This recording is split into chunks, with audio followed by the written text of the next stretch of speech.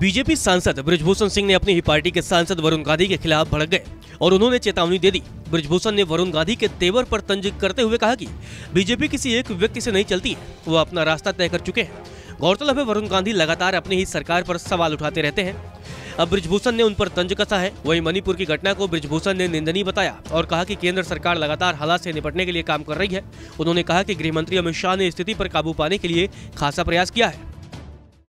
देखिए वहाँ की बहुत विषम स्थिति थी। आपको पता होगा कि बहुत विषम परिस्थिति थी। एकदम मतलब कि लोग आमने सामने मरने मारने मरने मारने पर तैयार थे। और ऐसे में केंद्र सरकार जो कर सकती थी गृह मंत्री जी स्वयं वहाँ दो दो तीन तीन दिन डेरा डाल करके बैठे थे, लेकिन फिर भी चूक हो जाती है। मणिपुर में जो कांड हुआ है। हालाँकि उस पर सीजीआई का भी बयान आ गया है और प्रधानमंत्री ने भी कहा है। आप इस पूरे मामले को किस तरह देखते हैं? क्या ये बहुत बहुत दुखद घटना गई है घटी है। आज़ाद भारत में और वो भी भारत के एक प्रांत में ये ये घटना घटी है और प्रधानमंत्री जी ने इसको संज्ञान में लिया है और आपने प्रधानमंत्री जी का वक्तव्य सुना होगा। फिर भी घटना घट चुकी है और घटना निंदनीय है। पहलवानों द्वारा लगाए जा रहे आरोपों पर बीजेपी सांसद ने कहा कि मैंने पहले ही कह दिया था और अब धीरे धीरे स्थिति साफ़ हो रही है। बंगाल के खिलाड़ियों ने रोते हुए वीडियो जारी किया है जिससे ये साफ़ हो गया है कि ये पॉलिसी को लेकर संघर्ष चल रहा है। उस समय मेरी बातें सच नहीं लग रही थी। इस समय जिन प्रभावित खिलाड़ियों के वीडियो आ रहे हैं इनकी असली पीड़ा क्या थी वह आज देश के समझ में आ गया है। जो खिलाड़ियों के वीडियो आ रहे हैं विशेष करके प्रभावित होने वाले खिलाड़ियों की वीडियो आ रहे हैं। आज वो खिलाड़ी जो धरने पर बैठे थे उनके बयान आ रहे हैं। कोर्ट तक जा रहे हैं।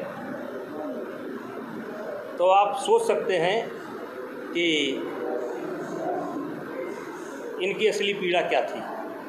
वो आज देश के सामने आ गया कुछ दो लाइन आप कहते थे कि नगर नगर क्या ऐसा कुछ नहीं मैं पहले दिन बोला था फिर बोला था कि ये मैंने बोला था कि नगर नगर बदनाम हो गए मेरे आँसू।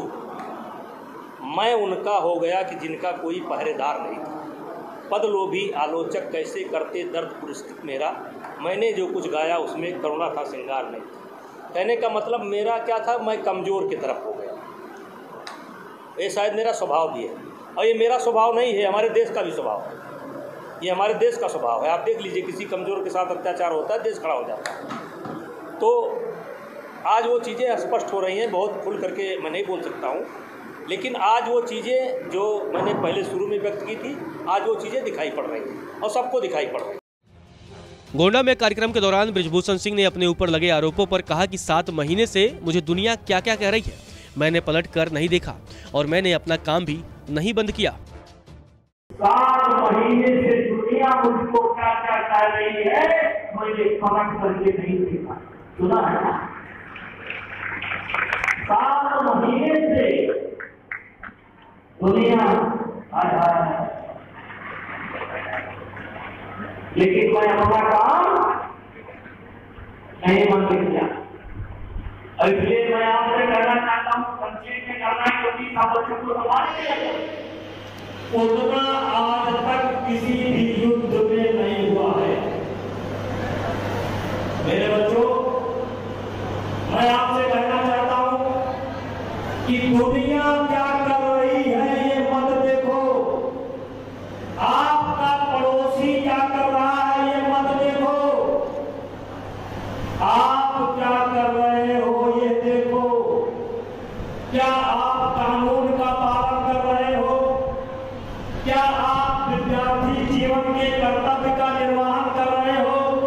क्या आप माँ बाप के सपनों को साकार करने के लिए आगे बढ़ रहे हो?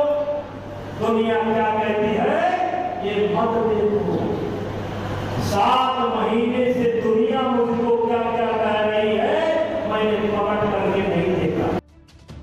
वहीं विपक्ष के गठबंधन के सवाल पर ब्रिजभूषण सिंह ने कहा कि इससे पहले कई गठबंधन हुए, पर वो सफल नहीं हुए।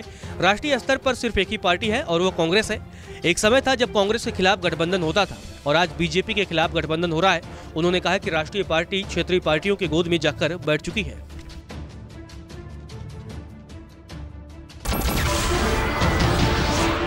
नमस्कार, मैं हूँ मानक गुप्ता। अगर आपको हमारा ये वीडियो पसंद आया हो तो इसे लाइक और शेयर ज़रूर करें। और हाँ हमें सब्सक्राइब और फॉलो करना ना भूलें, ताकि आप देश और दुनिया की कोई खबर मिस ना करें। तो जुड़े रहिए हमारे साथ और देखते रहिए न्यूज़ 24